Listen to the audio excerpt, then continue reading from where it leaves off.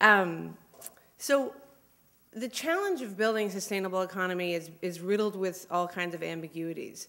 Um, you know, what, what does it look like? It, it, we, we often hear this term, you know, clean economy, sustainable, carbon free, and, and, and, and, it, and it's widely dismissed by many as this kind of pie in the sky concept. We don't know sort of how it's taking shape um, and, uh, and, and what, what, what the sort of practical foundations of this economy are. Um, and the other, the other question is who does it belong to? Um, you know, it's been sort of pushed or consigned um, uh, into this sort of domain of progressives, and, um, and, and, and we hear President Obama talk about it a lot, um, but always in these kind of vague, sweeping terms. Um, and then, and, and, you know, listen to the Republican debates, and it's, um, mocked and, and, and sort of widely dismissed as this, um, again, this kind of hoax or this, this, this, this just concept that exists off in the future somewhere or doesn't exist at all. Um, and, and to me, um, it's, it's been kind of extraordinary to find myself living in this state where there um, is um, a sort of proving ground uh, for, for uh, that, that, that's, that's addressing both of these questions. I mean, we have this, believe it or not, this, the, the early stages of this thriving um, green economy in Tennessee, and, um, and, and, and we also have um, you know, a deep history, 20 years of being a solid red state. So it's, it's this, these incredibly unique circumstances of living um, in you know, what's widely perceived as a, you know, a red state but with this, with this emerging green economy. And um, I want to get into some details about that. What, you know, what, what does this emerging green economy in Tennessee look like? Um, but I hope just in the next 10, 15 minutes to, to make the case that this is the most unifying issue of our time. Um, the fact that it's been so polarized and seen as this sort of partisan issue is, I think, um, a grave injustice to um, the potential um, that, that, that this you know, clean economy, the sustainable economy holds in, um, in, in, in, in, not only our nation's future, but our global future. Now, I, see it as the biggest, potentially the biggest job creation engine of our time. And, um, and yet, you know, it's seen again as this, this issue that's kind of um, either mocked and, and, and disregarded or, you know, something that only belongs to progressives. So how can we broaden this? How can we make it a unifying issue, a bipartisan issue? And I think we begin with looking at what's happening in our own state. Um, but a, a, a, bit about my own work and sort of why I'm interested in this, why I'm interested in making and addressing the, the, the sort of unifying um, potential of, um, of building the, the clean economy, the clean tech economy. Um, I, I, wrote this book, Power Trip, uh, that was mentioned um, after I moved to Tennessee from, from New York City, and I um, was, was uh, um, a little resistant to the, to the move um, because I kind of thought that life did not exist outside of Brooklyn. Um, you know that where where where you can live this you know unbelievably you know sustainable contained existence and never travel in a car and walk everywhere and live in you know 500 square feet and next to a co-op, and um, I, I, think my carbon footprint was, you know, non-existent at the time. I was, I was living a, you know, carbon-free life um, without even intending to. And I moved here and um, got married and had kids and moved into a house and two cars, and all of a sudden I kind of looked around me and realized um, I am, you know, I'm the average American. I'm living this incredibly energy intensive life. And I had spent about 10 years writing activist journalism, um, most of that time criticizing the Bush administration for failing to push um, our, you know, our, our, our uh, uh, renewable energy economy forward. And I had realized I'd failed to look at the role of energy in my own life. And, um, and, and as I looked around, it wasn't just you know, the, the, the, the energy intensive nature of my life wasn't just in, in the cars I was driving and, and my, um, my too large home. Um, it was in you know, all the, the, the, the, the details of, of, my, of my environment. So it was in you know, the varnish on my desk and the, the, the Tylenol in my purse and the chapstick I use and um, you know, the, the medical devices that were keeping um, my family members healthy and alive. Um, and, I, and I wrote Power Trip as an effort to kind of see how energy has become so deeply woven into our lives and our economy. Um, and, and, and, and, and for the first time, to take politics out of it and, and just tell the story of energy. How did energy build the American superpower? How did cheap fuel and coal and uh, you know, basically give us so many of the freedoms we enjoy today um, make us a sort of great mighty nation, and how did that strength then become our greatest vulnerability? So I went to offshore oil rigs and inside the electricity grid and inside the Pentagon and observed a breast implant and did all these sort of wacky things to try and kind of chart out the energy landscape in America, see what it's made of. And, and, and again, in that investigation, to try to understand how energy has made us who we are, and again, why we've developed this incredible appetite for fossil fuels and why we're having such a hard time sort of kicking the habit. And I, um, again, really made an effort to, to take my screed, to take my sort of angry activist journalism out of this book and just tell a story. Look, energy matters. Energy is the most exciting, and environment are the most exciting issues of our time, and let's, let's address them. Um, and when I first started talking to, to audiences about my book, in fact, the very first book event I had, I realized just how polarizing this issue is. I was in Cincinnati, Ohio, in, um, at a book fair, and uh, they, there were 18,000 people who came in and out of this book fair. It was a Saturday in, in November, and, um, and they put me up for some reason right up front in booth number two uh, of, of you know many hundreds of different booths of, diff- of authors. And booth number one was Chicken Soup for the Soul. And then booth number two here was Power Trip, you know, the story of America's love affair with energy. And booth number three was The Cake Doctor Returns, which is a book written by a local Nashvilleian, actually, um, about baking crises and how, how to handle them. And so um, you can imagine the, the, the sort of confusion of all these people on a Saturday morning coming in and oh, chicken soup for the soul. Oh, this is just so so so exciting. I got to get another copy of this, the latest edition, and then Power Trip. You know, with this dripping. I have I have a, I have to get my visual, but this sort of dripping, this SUV dripping oil, and all this this sort of energy iconography. And then they, and, and, and there was actually this sort of visible gag reflex on the faces of, of various, of various poor uh, book consumers who, you know, thought, oh, I don't, this is not what I want to be thinking about on a Saturday morning. And then I actually got shooed by a couple of, by a couple of the, of, of, of the people passing. shoo, shoo. And I'm thinking like, where do you want me to go? and moreover, like, where do you want this issue to go? Because this issue is not, is not going anywhere.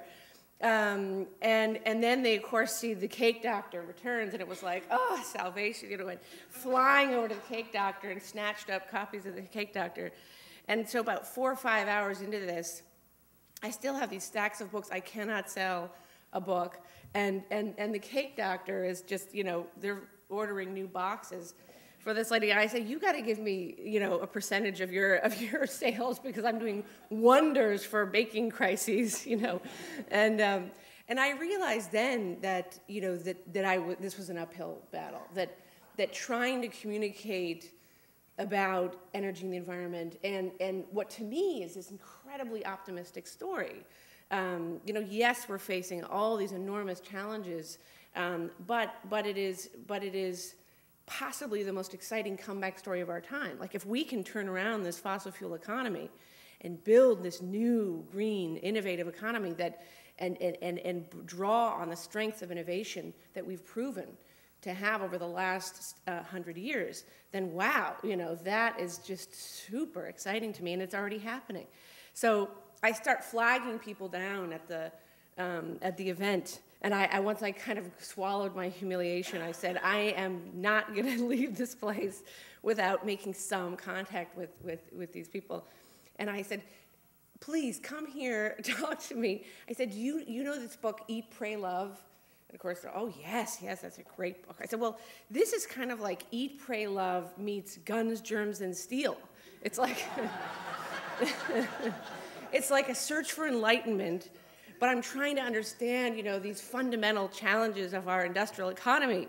And they're all going like, okay. And, and I said, well, don't worry, it's not one of these kind of smug, judgmental environmental books. It's not telling you that you're living your wrong life or you have to sell your SUV. It's just telling you to kind of engage in this topic. Energy matters, environment matters, and here's why. Here's why it defines who we are. And, um, and I even would pull out the story of uh, the South Park episode that many of you are probably familiar with, where they announced that Prius drivers, and I'm one of them, are, are emitting toxic levels of smog. we don't, we don't have a you know, smog problem in the environmental movement so much as we have a smug problem. And, I, and, I, and, I, and, it, and it's funny, but it's actually true. I do think that part of the reason why it's so hard to rally people around this concept of building the green economy, building um, you know, this, this, this, this, this clean energy future is that it's so misunderstood. And it's, it, it's sort of clouded, veiled with these assumptions that this is, you know, this very smug, preachy, um, elitist um, proposition. And Green for All, I have, I'm so excited about what Green for All is doing. Van Jones has been a great um, you know, inspiration to me and, and, and all of the leaders of Green for All because we're now beginning to sort of bust through these misconceptions about what, you know, the green economy is. And Tennessee, to me, is a, again, this sort of proving ground. What's happening in our state is, um, is, is, is, is, quite extraordinary. This is um, fundamentally a kind of smug-free zone. it's, it's, it's one thing to say, I live in California, or Oregon or Colorado, where, where they're booming green economies, and you know, and and and and um, brag about all the you know solar innovation and so forth that's going on there. Um, but it's another thing to live in the southeast, you know, in in, in and again in this uh, state with a deep, uh, deeply uh, conservative history, and say we're seeing job creation here. Um, and I don't know if any of you saw the report that came out, and if um, Martha's here, but the uh, but yes, okay. So I have. Um, I, I, should basically just turn it over to Martha right now because there's um, just uh, this this Green Jobs report that Martha helped produce. Um, it came out uh, this summer, right? J- July, roughly. Um, just yielded some incredible statistics about what this green economy looks like. And the number um, that, again, you might be familiar with, but I think it's really worth returning to is 43,800 jobs. Um, 43,800 green jobs in the state of Tennessee.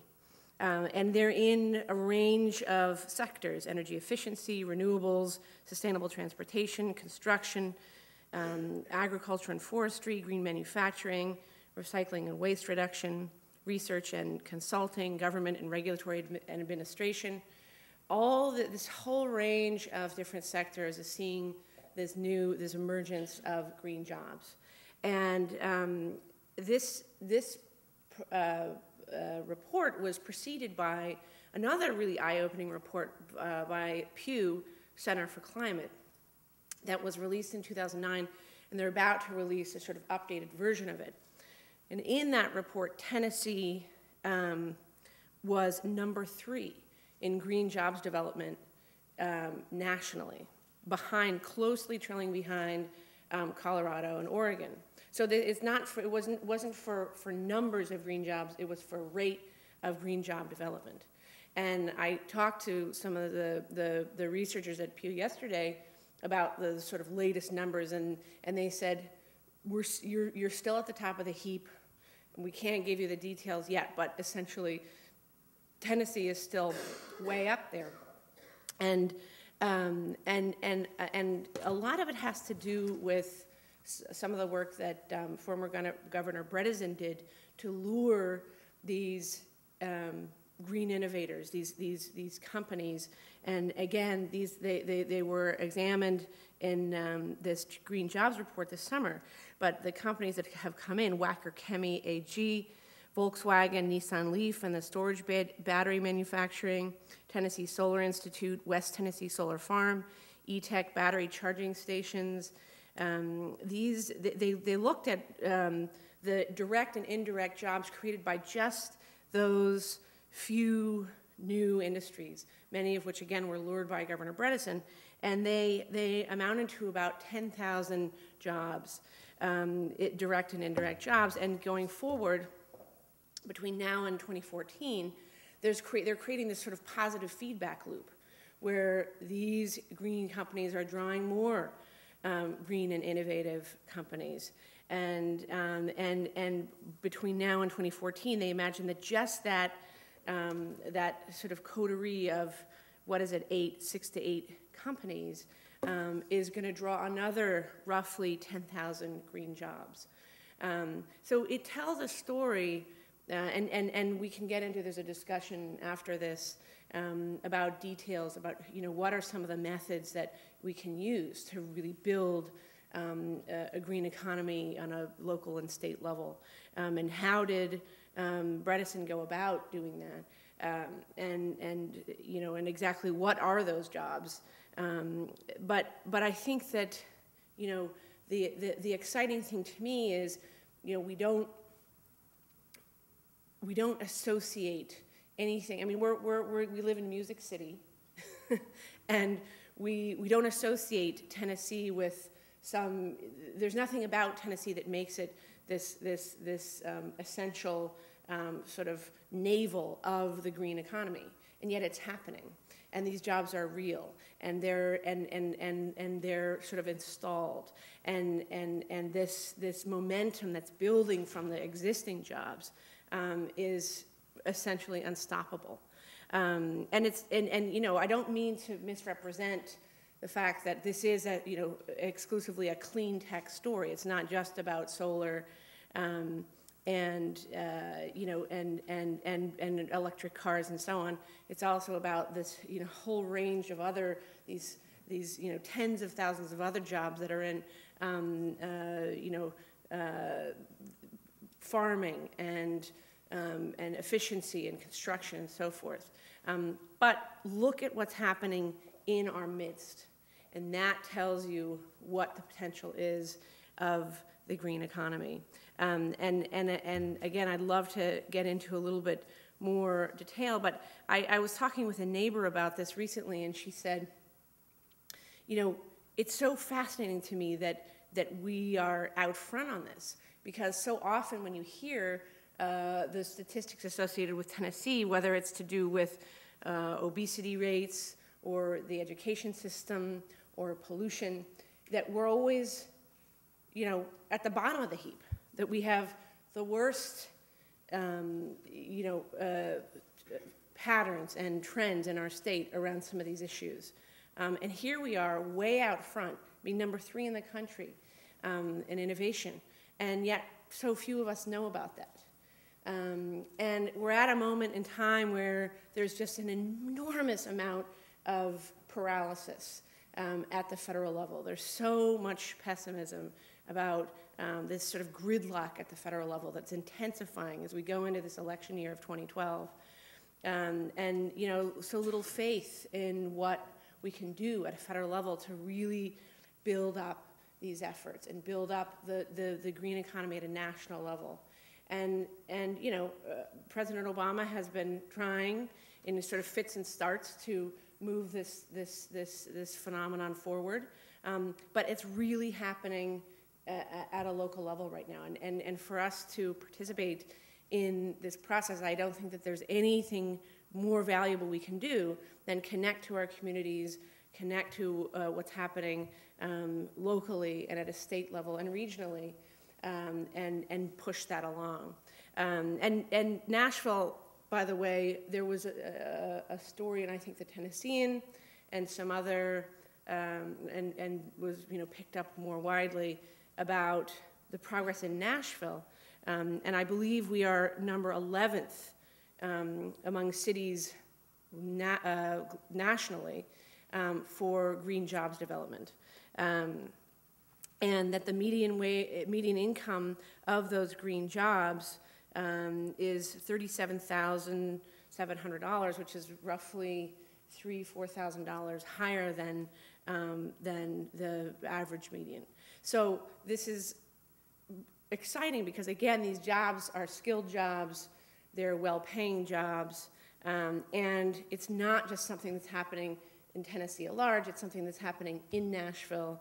Um, and uh, so to the extent that we can get involved with that, um, uh, you know, and, and really cultivate and nurture these trends that are, are that already have momentum, um, I think we're, we're participating in possibly the most exciting and hopeful political movement of our time. Um, and, and again, it's one that isn't mired in this, this, this gridlock, this paralysis, this angst, this you know, vitriol that's, that's, that's, that's kind of stopping and clogging politics at a national level. Um, that we can really see movement and we can really see um, you know, um, breakthrough collaborations if we you know, come together with our community, and in our case, just keep pushing along momentum that already exists. So thank you so much. I'm excited to hear what, um, what Green for All has to say about Tennessee and uh, the, larger, the larger efforts to broaden and unify this movement. Um, and I look forward to talking through details um, with any of you after this.